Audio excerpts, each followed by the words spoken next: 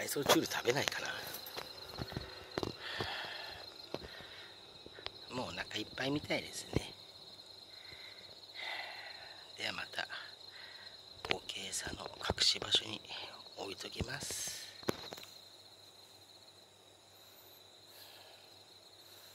まったりかどちゃん。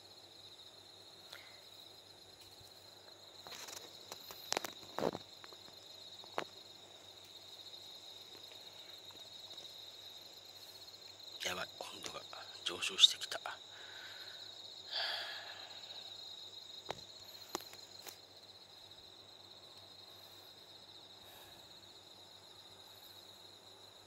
まあでも食べてくれたからよかったです。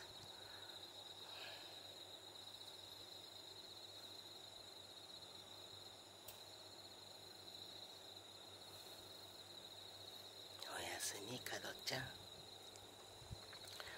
では俺も明日また仕事なんで帰ります。